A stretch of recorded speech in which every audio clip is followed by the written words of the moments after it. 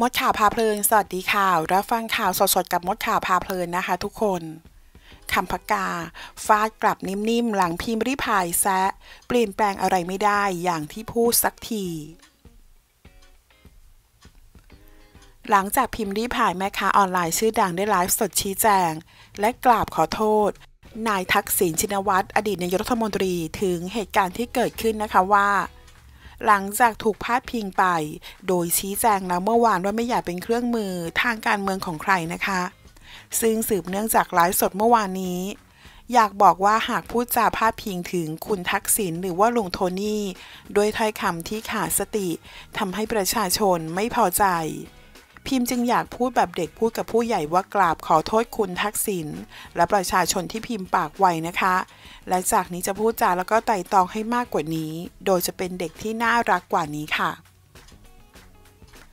พร้อมกันนี้ยังได้พูดถึงลัคนาปันวิชัยหรือว่าคำพกา พิธีกรแล้วก็นักเขียนชื่อดัง ที่แสดงความคิดเห็นถึงเธอก่อนหน้านี้ความว่า อยากฝากถึงคุณแขกคำพกา ได้ติดตามดูทุกคลิป แต่ก็ทำอะไรให้เปลี่ยนแปลงไม่ได้สักอย่างเหมือนที่พูด ถ้ามีคนแบบพี่สักสิบคน ก็ไม่เหงาหูดีล่าสุดนะคะคำพกาได้โพสต์ภาพพร้อมข้อความผ่านทาง Facebook แสดงความคิดเห็นตอบโต้พิมพ์ริพายความว่า ความเปลี่ยนแปลงทางสังคม มีหลายระดับ ทางระดับที่จับต้องได้ระดับที่มองไม่เห็นด้วยตาเปล่า เรียกว่า เป็นความเปลี่ยนแปลง ในระดับของอุดมการณ์และก็จิตสำนึก ความเปลี่ยนแปลงในระดับอุดมการณ์จิตสำนึกจะเห็นได้ก็ต่อเมื่อรู้ว่า ในโลกนี้มีสิ่งที่เรียกว่าอุดมการณ์กำกับอยู่เสมอ ขอขอบคุณข้อมูลจากข่าวสดค่ะ